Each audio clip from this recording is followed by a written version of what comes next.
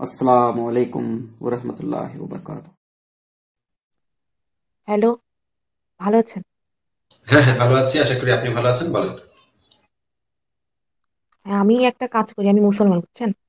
আমি একটা মানে হারাম কাজ খুব পছন্দ করি এই জন্য আপনাদের লাইভগুলো খুব শুনি। নাস্তিকদের লাইভ শোনা তো হারাম এটা এটাই তো করেন আপনি মনে হচ্ছে। না নাস্তিকদের লাইভ শোনা ছাড়াও একটা কাজ আমার খুব পছন্দ যেটা আমি করি এবং যেটা আমি খুব ভালোবাসি আর কি। এই জন্য আপনাদের লাইভগুলো দেখি। আচ্ছা আচ্ছা কি কাজ এটা কি বলতে চান আমাদেরকে? আপনি কি শুনতে চান? না আপনি যে যেহেতু উল্লেখ করলেন সেহেতু আপনি আমার তো মনে হচ্ছে আপনি সেটা বলতে চাচ্ছেন। না সেটা না ভালো উল্লেখ করতেন না। তাহলে উল্লেখ করলেন কেন? যদি বলতেই না চান তাহলে সেই জিনিসটা উল্লেখ করলেন কেন? জি। তো আমার তো আমার মনে হচ্ছে আপনি আপনি আসলে আপনি আসলে বলতে চাচ্ছেন কিন্তু একটু সংকোচ হচ্ছে কিন্তু আপনি আসলে বলতে চাচ্ছেন। যদি বলতে চান তাহলে বলতে হ্যাঁ বলতে বলতে চাইতাম কিন্তু ধরেন এখানে তো অনেকেই শুনে এই জন্য পরে যদি কোনো সমস্যা হয়। অনেকে শুনলে তার সমস্যা কি? অনেকে শুনলে শুনবে অসুবিধা কি? আপনার যেটা ভালো লাগবে সেটা আপনি অন্য অন্য মানুষ শুনলে শুনবে অসুবিধা কি হ্যাঁ হ্যাঁ বলেন তাহলে আমি হচ্ছে গান বাজনা পছন্দ আচ্ছা আচ্ছা গান বাজনা পছন্দ করেন তাই তো? হ্যাঁ। হ্যাঁ, খুবই পছন্দ করি। কিন্তু মানে এটা তো হারাম। হারাম এই কারণে আমি মানে খুব গিলটি ফিল করি। আমি গান গাইও কিন্তু আমি মানে গিলটি ফিল করি। ভেতর থেকে যে আমার আল্লাহর কাছে কি হিসাব দিব মানে খুব গিলটি ফিলিং হয় ভেতর থেকে। এই জন্য শুনি হুম, তাই। আপনার ধর্ম যদি আপনাকে গিলটি ফিল করায় তাহলে আপনার ধর্ম ছেড়ে দেন। এখন ধর্ম ছাড়তে গেলে তো অনেক সাহস লাগে।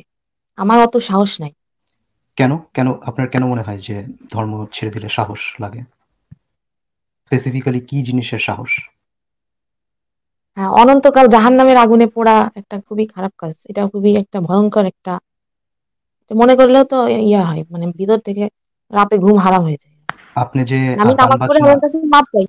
আপনি যে গান বাজনা পছন্দ করেন আপনি কি এই- জিনিসটা পাল্টাইতে পারবেন? হ্যাঁ মানে গান বাজনা পছন্দ আমি মাঝে মাঝে ছেড়ে দেই যে আমি করব না। কিন্তু ছাড়তেও পারি না মানে এতটাই ভালোবাসি নিজের জীবনের থেকেও বেশি ভালোবাসি। হ্যাঁ সেটা হচ্ছে গান বাজনা মানে আপনি করাটা আর কি বাট আপনার যে পছন্দটা এই পছন্দটা কি আপনি পাল্টাইতে পারবেন বা চেঞ্জ করতে পারবেন? এখন আমার মনে হয় কি যে আমি গান গাওয়ার জন্যই জন্মগ্রহণ করছি, এরকম একটা ভিতর থেকে আসে, যে আল্লাহ আমাকে এইভাবে বানাইছে, কিন্তু আবার এটা হারাম করছে, আমার ভেতর থেকে এরকম একটা মানে খুব মানে অস্বস্তি আসে, কিন্তু আবার ধর্ম ছাড়াটা তো এটা আমার পক্ষে অসম্ভব, আমি ধার্মিকও। তাহলে আপনার একটা চয়েস মেক করতে হবে যে আপনি কাকে বেশি ভালোবাসেন, গান বাজনাকে নাকি আল্লাহকে? এবং গান বাজনার কথাটা হচ্ছে যে নট অ্যাকচুয়ালি গান বাজনা, আপনি আপনার জীবনকে বেশি ভালোবাসেন, নাকি আল্লাহকে বেশি ভালোবাসেন? এখন আ- আল্লাহই তো আমাকে গুণ দিছে। আল্লাহ আমাকে চেহারা দিছে আহ, সুন্দর চেহারা দিছে সুন্দর কণ্ঠ দিছে সবকিছু তো আল্লাহ দিছে। এখন আমি তো আল্লাহর উপর অকৃতজ্ঞ আমি ইনফিডেলিটি তো মানে ইনফিডেলিটি তো আমি করতে পারব না। আচ্ছা আপনার প্রিয় গায়ক আচ্ছা আপনার প্রিয় গায়ক কে বলেন তো দুই চারজনের নাম একটু বলেন তো। আমি ভারতীয় মিউজিক শুনি সবসময়। দুই চারজনের নাম বলেন যারা আপনার প্রিয় গায়ক গায়িকা। আমার কিন্তু এই যে নুসরাত ফাতে আলী খানকে খুবই পছন্দ। আপনার কাকে পছন্দ বলেন তো? রাহাত ফাতে আলী খানকে খুব পছন্দ পাকিস্তানের। আচ্ছা আচ্ছা আর আর? লতা মঙ্গেশকর আচ্ছা আছেন শ্রেয়া ঘোষাল আছেন। তাহলে ভারতের মানে মিউজিকটা ভালো লাগে। তাহলে তো অসুবিধা কি? আপনি জাহান্নামে যাবেন তারাও তো জাহান্নামে থাকবে। অসুবিধা কি? এখানে গান বাজনা করবেন সমস্যা কি? আর এখানে একটা জিনিস, আপু, আপনি যেহেতু বললেন যে আপনি মনে করেন যে আল্লাহ আপনাকে আকার আকৃতি দিছে আর কি, যেটার জন্য আপনি হচ্ছে আল্লাহর প্রতি কৃতজ্ঞ। আপনি যদি এই জিনিসটা বিশ্বাসই করতেন না যে আল্লাহ আপনাকে কিছু দিছে, তাহলে মানে আল্লাহ আপনি কারোর উপরে কৃতজ্ঞ থাকতেন না, কারণ আপনি আল্লাহকে সিম্পলি সেই টাইমে বিশ্বাস করতেনই না। সো আপনি যদি যুক্তি, তথ্য, প্রমাণ ব্যবহার করেন, আপনি এই কনক্লুশনে রিচ করবেন যে আল্লাহ বলতে কিছু নাই। তো তখন আপনি খুশি খুশিতে গান বাজনা করতে পারেন। এখন আমি খুশি খুশিতে গান বাজনা করি কিন্তু ধরেন আমার মনে হয় কি যে আমার তো এটা আল্লাহ মানে আমার ভয়েসটা বাইরে যাওয়া তো নিষেধ। পুরুষ মানুষ শুনে আমার ভয়েস অ্যাট্রাক্টেড হবে। অনেকে ধরেন গান শোনা বলে কি তোমার অনেক ছেলেরা আসে কিন্তু ধরেন আমি মানে মনে করি যে এই গানটা গাচ্ছি বলে ছেলেরা অ্যাট্রাক্টেড হচ্ছে এটা একটা খারাপ একটা ইয়া। কিন্তু এইটা এই স্পেসিফিক জিনিসটা যে ছেলেদেরকে অ্যাট্রাক্ট করে এটা কিন্তু মানে আপনি যে বললেন যে ইসলামের সাথে গিলটি ফিলিং দুইটা কিন্তু আলাদা আর কি। তো আহ, আপনি আসলে কোনটা নিয়ে আলোচনা করতে চান? যে ইসলামের থেকে যে গিলটি ফিলিং নাকি ছেলেদের থেকে অ্যাট্রাক্টেড যে এটা যে একটা খারাপ জিনিস কোনটা? গিলটি ফিলিংটা হতো না যদি আমি কোনো হিন্দু ঘরে জন্মগ্রহণ করতাম কিন্তু আমি তো মুসলিম ঘরে জন্মগ্রহণ করছি আমি মুসলমান। এখানে মানে গান বাজনাটা একেবারে নিষিদ্ধ। হ্যাঁ কিন্তু আপনি যদি হিন্দু ফ্যামিলিতেও যদি জন্মগ্রহণ করতেন আপনি পরের যে কথাটা যে আপনার ভয়েস হচ্ছে ছেলেদেরকে অ্যাট্রাক্ট করতে পারে এন্ড এটা যে একটা খারাপ জিনিস, এটা এটা হইতে পারতো আর কি। বাট ইসলামের থেকে স্পেসিফিক্যালি যে গিলটি ফিলিং সেটা আপনার থাকতো না আর কি। ইসলামের থেকে যে গিলটি ফিলিং এটা যদি আপনি দূর করতে চান, সেটার জন্য আপনি যুক্তি তথ্য প্রমাণ দিয়ে যদি এই কনক্লুশনে আপনি রিচ করেন যে আল্লাহকে বিশ্বাস করার জন্য কোনো প্রমাণ নাই, যার জন্য আপনার আসলে কৃতজ্ঞ বা গিলটি বা কিছুই ফিল করার কোনো লাইক কারণ নেই, তাহলে ইসলামের থেকে স্পেসিফিক্যালি ইসলামের থেকে সেই গিলটি ফিলিংটা আর থাকবে না আর কি। এখন অন্য গিলটি ফিলিং আপনার তাও থাকতে পারে যে হ্যাঁ আপনি যেটা বললেন যে, আপনি মনে করেন যে আপনার কোনো একটা গাইলে এটা হচ্ছে ছেলেদেরকে অ্যাট্রাক্ট করবে এন্ড এটা আপনাকে গিলটি ফিল করায় আর কি। সো প্রথমটা যেটা বললাম যে যুক্তিদত্ত প্রমাণ। আর দ্বিতীয়টা যে, আপনার গলা যদি কোনো একটা ছেলেকে অ্যাট্রাক্ট যদি করে, এইটার পিছনে আসলে গিলটি ফিল হওয়ার লাইক কারণটা কি আপনার? আমার ধর্মে যেহেতু নিষিদ্ধ মানে আমার ভয়েসটা সে শুনতেছে তার ভালো লাগতেছে। এটা তো মানে ইসলামে নিষিদ্ধ করা। এখন আমি সবার সামনে গান গাচ্ছি আবার গান গাওয়ার সময় একটা কি হয় জানেন? মানে সবকিছু ছেলেরা দেখ মানে দেখতে পায় সবাই সবকিছু চেহারা দেখে অনেক কিছু দেখে।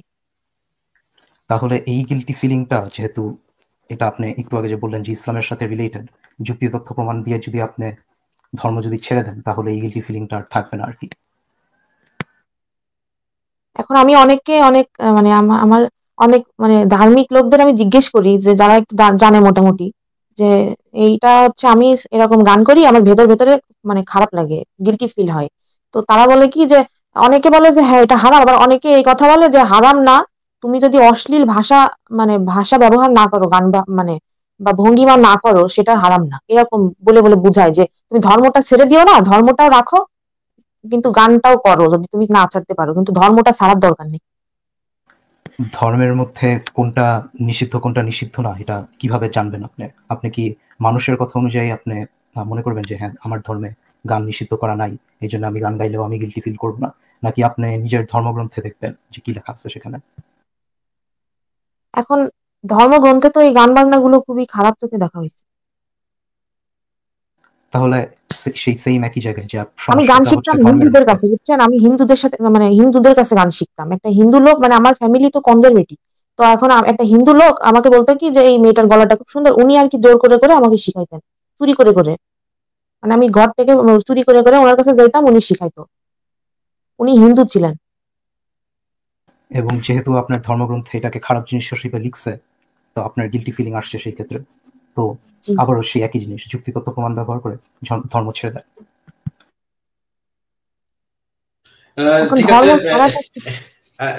যে আপু আপনি যদি আমি আপনাকে বলব শোনেন না, ভাই আরেকটা প্রশ্ন আছে। কি ছাড়বেন কি জি, জি, রাখবেন সেটা আপনার ব্যাপার আপনার ব্যক্তিগত বিষয়। আপনি নিজেই সিদ্ধান্ত চিন্তা ভাবনা করে আপনি সিদ্ধান্ত নেবেন। আহ, তো আপনি নিজেই চিন্তা ভাবনা করেন যে আপনার কোনটা কোনটাকে আপনার রাখতে ইচ্ছা হচ্ছে কোনটা আপনার আহ, ভেতর থেকে আসতেছে কোনটা কোন জিনিসটা আপনার ভেতর থেকে আসতেছে।